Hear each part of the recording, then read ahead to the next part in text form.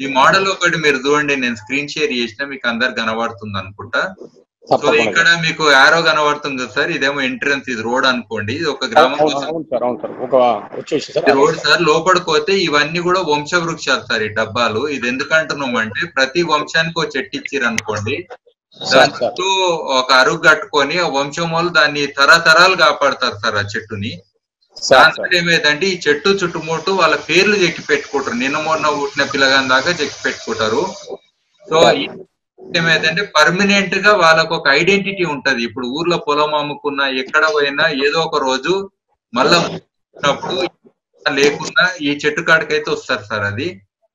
ఇది ఒకటి ఆలోచన. రెండోది ఏంటంటే ఇక్కడ షెడ్ కనబడుతుంది మీరు చూసి ఉంటారు ఇదేంటంటే గ్రామ మ్యూజియం సార్. మీ గ్రామం పనిముట్లు గాని రకరకాల వస్తువులు ఉంటాయి కదా తాతలు ముత్తాతలు వాడినవి గొప్ప కానివ్వండి గుంటు కానివ్వండి పాతే ఉంటాయి కదా అవన్నీ కూడా ఇక్కడ మీరు ప్రిజర్వ్ చేసి కుండలు గాని అన్ని కూడా ఇక్కడ ప్రిజర్వ్ చేసి ఆ పేర్లు లోకల్ పేర్లు రాసి పెడతారు సార్ ఇక్కడ మీరు. బీజం మాదిరిగా మన తరాలకు మ్యూజియం ఉండాలి. కంపల్సరీ ఉండాలి. ఆ. తర్వాత ఇక్కడ ఒక విగ్రహం పెట్టుకుంటారు సార్ భూమికి చిన్నంగా అంటే భూమాత విగ్రహం పెట్టుకోవచ్చు లేదా భూమి ఆకారంలో కూడా ఒక విగ్రహం పెట్టుకోవాలి. ఎందుకంటే భూతల్లి లేనిది మనం ఏమో అనేది పాయింట్ సార్. ఎన్ని. దేవుళ్ళను మొక్కినా భూమే మనకు ఆధారం భూమే మనకు తల్లి. రైతులకైతే ముచ్చు బిడ్డ తల్లి కూడా భూతల్లే కాబట్టి. కాబట్టి దీని ఎదురుగా ఒకటి ఏం చేస్తామంటే సార్ ఇక్కడ ఒకటి పెద్దది శిలలాగా ఒకటి పెద్ద రాయి మీరు అంటే క్రేన్ తోటి తెచ్చి పెట్టుకోవచ్చు. దాని మీద మీరు గ్రామ చరిత్ర చెక్కియాలి. సార్ గ్రామం ఎట్లా పుట్టింది ఎప్పుడు పుట్టింది ఇవన్నీ కూడా రాస్తారు. అట్లనే ఒక మందుకి ఏం రాస్తారంటే ఆచారాలు వ్యవహారాలు అక్కడ ఉన్న కట్టుబాట్లు అవన్నీ రాస్తారు సార్. అట్లనే అక్కడ ఉన్న పంటలు గింటలు అవన్నీ కూడా రాస్తారు. ఇవన్నీ కూడా నాలుగు బంధులు నాలుగు రకాలు మీరు రాసి పెట్టుకుంటే గ్రామంలో ఎవరు వచ్చినా చదువుకుంటే ఇది ఒక ఐదు ఏళ్ళ ఐదు వందల ఏళ్ళ క్రితం ఈ పేరు ఎట్లా వచ్చింది ఊరు పేరు. ఎందుకు సార్. ఇక్కడ వ్యవసాయం ఎట్లుండే? ఒకప్పుడు తినే అలవాట్లు ఏముండే? ఇప్పుడు ఏమైనాయి అన్ని కూడా అక్కడ నిక్షిప్తం అయి ఉంటాయి సార్ గ్రామంది. లేకపోతే మీకు ఏడ కూడా చరిత్ర లేదు. అది కూడా మటుమాయం అవుతుంది కొత్త కొత్త రియల్ ఎస్టేట్లు వచ్చినాక కొత్త పేర్లు పెడుతుర్రు. రేపు పొద్దున మీ పే ఊరు పేరు అడిగితే కూడా చెప్పారు. ఏదో కొత్త పేరు చెప్తారు ఉన్నమాట. సార్, మీరు అన్నట్లు మనము ముందు తరాలకు మన ఒక ఇది ఒక రకమైనటువంటి రిజల్ట్ అవును మనం సార్. ఇచ్చే విధంగా మనం ముందుకు పోతున్నాం సార్ ఈ రకంగా అవును. గ్రామాలు కనుమరుగయ్యే అవకాశం ఉన్నది సార్ త్వరలో. ఎందుకంటే రైతులే కనుమరుగవుతున్నారు మీకు తెలుసు. గ్రామాలు కూడా కనుమరుగయ్యే ఛాన్స్ ఉంది. ఇంకా ముందు ముందు కూడా మీకు ఇవి దొరికే అవకాశాలు కూడా ఉండేవి కాబట్టి ఇది ఆఖరి ఒక పని లెక్క అనుకోండి. ఇంకోటి ఇక్కడ యాంపిటేటర్ చూడండి సార్ ఈ. టైప్. పెడితే చాలు సార్ ఇట్లా గుంత లెక్క. గుంతలో ఏ నాటకాలను వేసుకోండి మీరు భాగవతం అనండి పద్య నాటకాలు అనండి పిల్లలు ఆడుకోనికి ఉంటది ఉత్తప్పుడు షటిల్ బ్యాడ్మింటన్ ఆడతారు ఇక్కడ మెట్లలా ఉంటుంది. ఓన్లీ చెట్లు ఉంటాయి. అది ఒక ఓపెన్ థియేటర్ అదేందనంటే యాంపీ థియేటర్ అని కూడా అంటారు. ఇది ఒకటి మీటింగ్ పెట్టుకోవాలంటే ఇక్కడ పెట్టుకోవచ్చు. కామన్గా. లేకపోతే మీ గ్రామంలో ఏడు అట్లా జాగలు వేస్తారు ఉన్నమాట. ఎప్పుడు ఎవరన్నా వచ్చినా కానీ లోపలికి వస్తారు ఇక్కడ మీటింగ్ పెట్టుకుంటారు వెళ్ళిపోతారు. అట్లనే ఈ పొద్దున సాయంత్రం మనుషులు ఎవరైనా తిరగాలంటే చెట్లలో తిరుగుతారు అందరినీ తలుచుకుంటారు ఊరోళ్ళను తర్వాత వెళ్ళిపోతారు. ఆరోగ్యం కూడా బాగుంటది.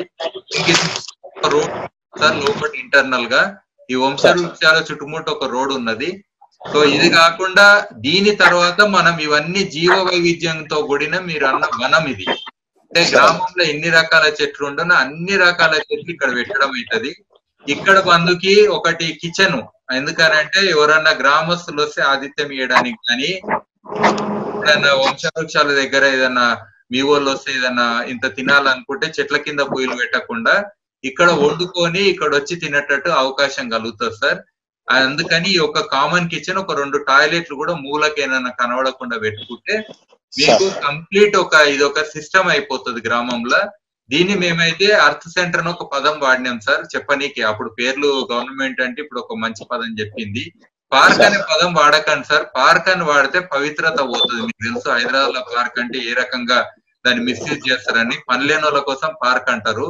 ఇక్కడ కూడా పనిలేని వాళ్ళు వచ్చి కూర్చోనే కాదు పవిత్రత కోసము మన ఉనికిని మనం చాటుకోనికే మన తరాలను మనం తలుసుకోనికే మన ఒక ఆచారాలు వ్యవహారాలు మన ఫ్యూచర్ జనరేషన్స్కి ఇవ్వడానికి సో ఇట్లా ఒక చిరస్థాయిగా ఒక వెయ్యి సంవత్సరాలు కూడా ఉండే అవకాశంతో కలిగిన ఒక ఫెసిలిటీ ఎకరాలు అనుకోండి వెయ్యి జనాభా ఉన్న దగ్గర.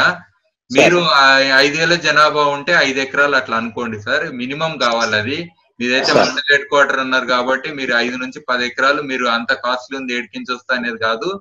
హండ్రెడ్ పర్సెంట్ మీరు చందాలు వేసుకుంటే కూడా వస్తాయి సార్. లేదంటే ఈ విషయంలో మనము మీతోటి మేము కూడా తిరుగుతాం సార్. ఎవరని ఇయ్యని ఏ సౌకర్యాన్ని ఇయ్యని హైదరాబాద్లో తిన్నోళ్ళని ఇయ్యని పైసలు. కానీ ఇంత మనం కడతామంటే వస్తాయి సార్ పైసలు. గుడి కడతామంటే పైసలు వస్తాయి. ఇది గుడి కంటే కంటే పెద్దది. గ్రామస్తుల అందరికి సంబంధించింది. కాబట్టి ఇది ప్రతి గ్రామంలో. సో ఇది ఒక మోడల్ మీకు ప్రవేశపెట్టాం ముందట. ఇలాంటి ప్లాన్లు మేము చేసినాం ఆల్రెడీ. Sir sir. అంతా కూడా ఈ కోవిడ్ నైన్టీన్ లాక్డౌన్ కంటే ముందు చేసిన పని. ఆల్రెడీ ఇప్పటికల్లా వచ్చి ఉంటుండే. ఏప్రిల్ ఇరవై రెండు కల్లా ఒకటి ఆల్రెడీ తయారై ఉంటుండే. ఇప్పుడు. గవర్నమెంటే మరి ఈ మాట అన్నది కాబట్టి మాకు చాలా సంతోషమైంది సార్. పేరు మీరు ఏదన్నా అనుకోండి ఏ స్కీమ్ అని అనుకోండి ఇన్ని. ఫెసిలిటీస్ చేసుకోవడానికి అవకాశం ఉందని మేము అంటున్నాం. Thank you sir thank you